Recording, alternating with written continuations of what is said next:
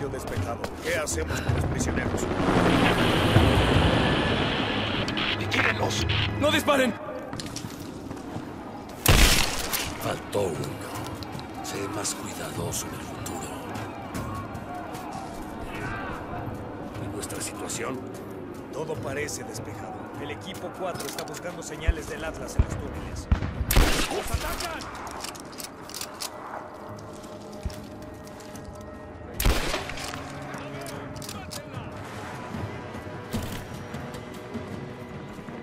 Tras una entrega con buena crítica y ventas, que dejó un buen sabor de boca a todos, bueno, menos Square Enix, que tuvo que realizar una versión remasterizada y mejoras para que fuera más redituable, y sabiendo que los fans querían un poco más de este nuevo reboot, aquí está la segunda entrega. Rise of the Tomb Raider salió para el Xbox 360, Xbox One, PlayStation 3, PlayStation 4 y la PC. Y aquí cuenta una nueva aventura de la joven Lara Croft. Aquí Lethal Fer reportándose y acompáñenme a reseñar esta nueva aventura. Rise of the Tomb Raider nos cuenta el crecimiento de la señorita Croft, así como también de la aventura donde conoció la crueldad humana y el sentimiento de sobrevivencia. Y aquí, Lara se nos muestra como un personaje más crudo. Nuestra historia comienza con una Lara un tanto aferrada a lo que su padre estaba investigando, la famosa fórmula de la inmortalidad, que se encontraba en una ciudad perdida llamada Kites. Así que decide investigar y seguir con la búsqueda, y sobre todo limpiar el nombre de su padre, que, por sus investigaciones, todos lo tacharon de loquito.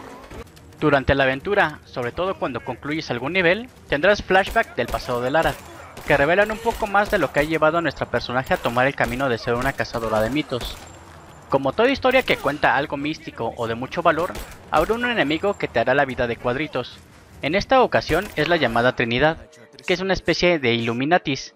Este es otro grupo de loquitos, que buscan también el camino a la inmortalidad, y que son liderados por Constantine, quien al parecer es otro fanático religioso y que de alguna manera cuenta con los recursos necesarios para obtener lo que quiere, y sobre todo cuenta con una influencia bastante bárbara, porque la gente que está a su cargo son chingomadrales. También conocerás a los remanentes, este es un grupo que protege a la fuente divina, y por obvias razones, la gente de la Trinidad se estará enfrentando constantemente a la gente de los remanentes.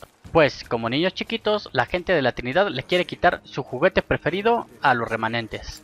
A través de la aventura también conoceremos a una Lara más egoísta, pues sus pensamientos y quizá algunas de sus acciones mostrarán la diferencia entre lo que está bien y lo que ella quiere.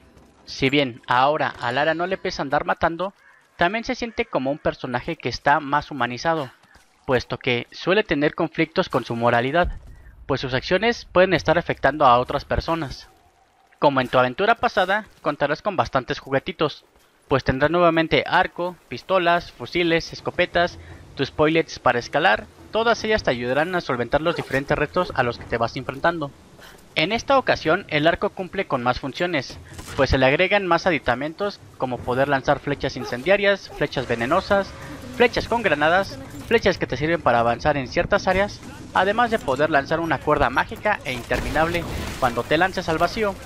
Todos estos artefactos los irás recolectando mientras avanzas en la historia. Al igual que en la entrega anterior, tus juguetitos los puedes ir mejorando, con toda la porquería que te vayas encontrando en los mapas del juego.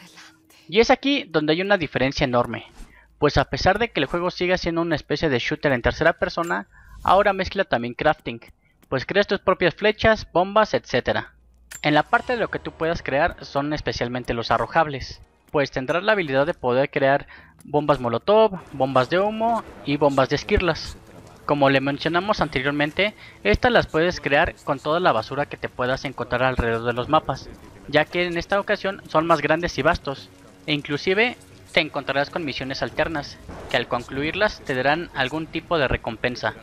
Se recomienda que busques en cada esquina, pues ahora, con la parte del crafting, te verás en la necesidad de buscar madera, champiñones, digo, perdón, hongos venenosos, plumas, además de que para mejorar tus herramientas necesitarás piel de animales, los cuales, si bien no abundan, cuando te los enfrentes serán duros combatientes, sobre todo los más grandes, ya que son más resistentes y dañan más.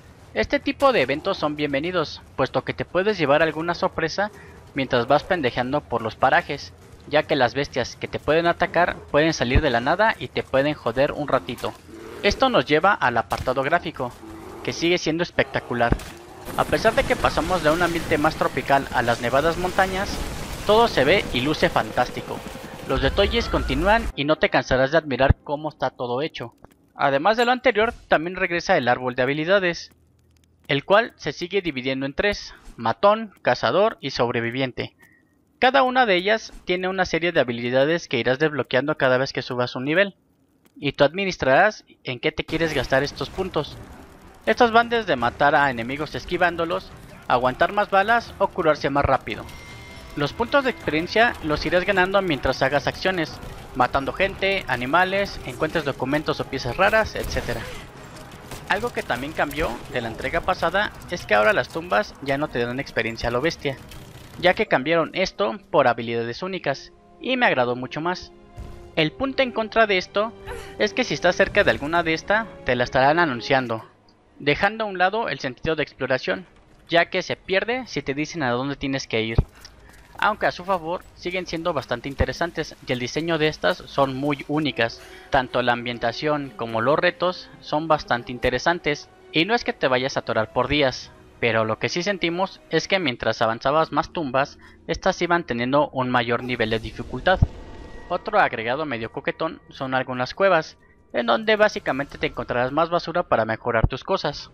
Regresando a nuestra heroína, aquí nos sigue demostrando por qué es una arqueóloga famosa, pues en cuanto encuentra algún objeto, dará una breve explicación de este.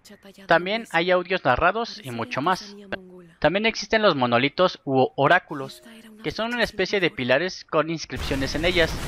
Estas varían en lenguajes y Lara deberá volverse políglota pues con los documentos, imágenes que te vayas encontrando, Lara aprenderá mágicamente otros idiomas, los cuales también tienen nivel. Esto no es obligatorio, aunque también es de ayuda a entender ya que te dará la ubicación de tesoros, basura y más. Todas estas cosas se pueden llamar como coleccionables, y también hay otra especie, que son las armas especiales, las cuales deberás encontrar sus piezas para poder obtenerlas. Normalmente son más ponchudas que las que tienes, y también las puedes ir mejorando aunque de ser sinceros estuve ocupando un subfusil, el cual me facilitó mucho la aventura. Llegando a la parte de los enfrentamientos, continuamos con la misma tendencia, se maneja muy similar a la entrega anterior. Por otra parte, los enemigos siguen siendo variados pero montoneros como ellos solos. Continúan los que mandan granadas, los loquitos que van directo por ti, los acorazados y otros que llegan ya adelantados en la historia. Todos responden de manera adecuada, pues si encuentran un cadáver estarán más pendientes, así como si te ven les avisarán a sus amiguis para que vayan por ti. Gran parte del juego serán zafarranchos.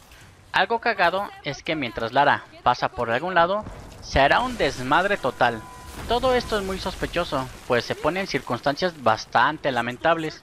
Es como si Dios le estuviera diciendo que la odia.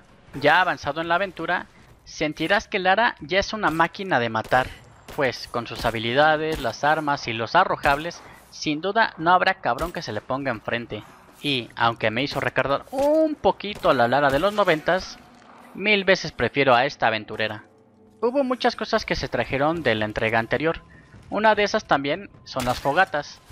Aquí Lara también tendrá una conversación consigo misma y estará dando detalles de lo que ha estado pasando. Además de que cada que encuentres una fogata, esta también te servirá como fast travel, el cual, como es obvio, te ayudará a llegar a otras fogatas donde ya hayas estado. Esto te permitirá reexplorar algunas zonas. Y si cuentas con el juguetito indicado, podrás abrir nuevas tumbas, así como también tesoros y demás. Race of the Tomb Raider no cuenta con multiplayer, pero hay algo llamado expediciones, que es pasarse los niveles con ciertos retos, y así acumular puntos. Lo único medianamente entretenido son los modificadores, pero pasaremos como otro me por esto. Este título refina muchas cosas y agrega otras tantas que son bienvenidas. Las animaciones de destrucción, caídas, etc. son bastante buenas. No podría quejarme demasiado pues el contenido que ofrece es de alta calidad, salvo los malvados, que siguen siendo un tanto caricaturescos, pero se puede dejar pasar. Sin duda, Square Enix se sacó otra manita arriba con esta entrega, pues a pesar de que Lara se le empieza a deschavetar la cabeza, no cabe duda que ya está dentro del grupo de favoritos en personajes de acción.